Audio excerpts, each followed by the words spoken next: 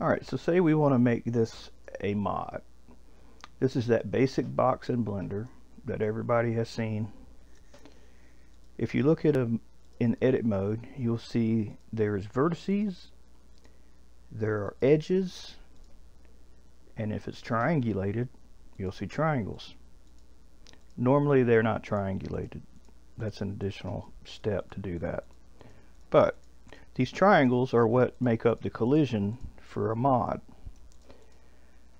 Now the game does not call vertices vertices, but instead nodes. And the edges would be considered beams, and triangles are triangles. But if we turn off the triangles, we see inside of this, there's no reinforcements.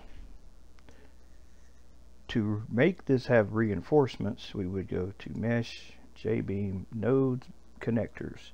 And basically what that will do is connect every node to every node, reinforcing the J-beam.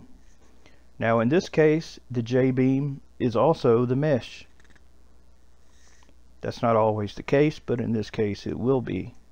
So we will now go to this other video that I made in German.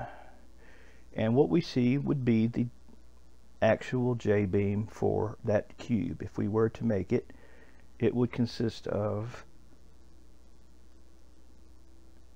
nodes, triangles, and beams. Here is an illustration in real life of what those connectors look like, the reinforcements, where I used wires to show. Now if these did not have these wires, what would happen over time, and I should say fairly quickly, is that your J-beam will collapse. Just like this.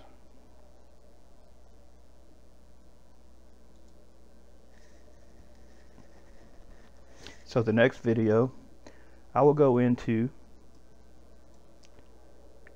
the basic file structures that we will need to start our JBeam with our info file, our mod folder, what goes in our mod folder, and then I'll be able to uh, get you started with that process. And I will include the files needed for you to have alongside you to follow along.